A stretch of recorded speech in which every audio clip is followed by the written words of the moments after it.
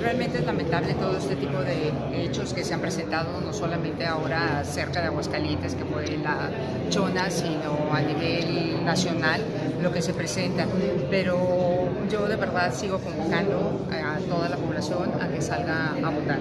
Debemos evitar justo, hay que ir a votar para tener eh, por mayoría de toda la población por quién va a dirigir este país, tanto en la presidencia nacional como los que van a ser legisladores y también el caso de la presidencia municipal y nuestro el Congreso local.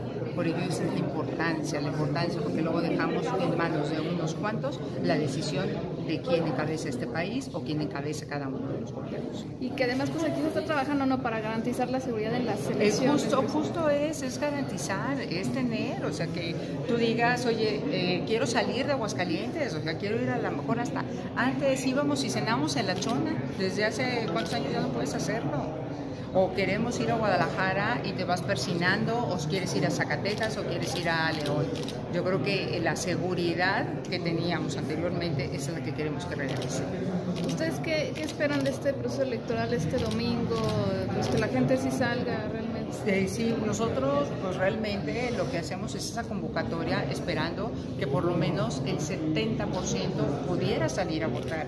Y si tú dices 70, pues son 7 de cada 10 no podemos decir que va a salir el 100% porque no sería, no sería posible por diferentes temas este, que puede ser por parte de la sociedad, ¿no? desde personas que ya fallecieron, personas que no pueden llegar al, lugar de la votación, personas que están fuera, lo que tú quieras y guste.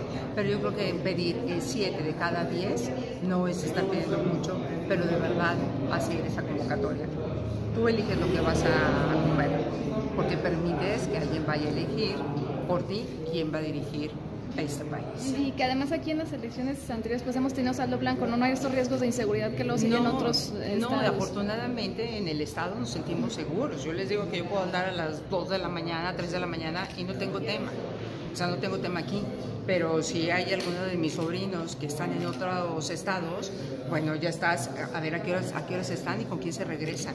Aquí no. Y eso es lo que queremos, tener esa, esa seguridad de poder transitar con tranquilidad. Ok, muy bien.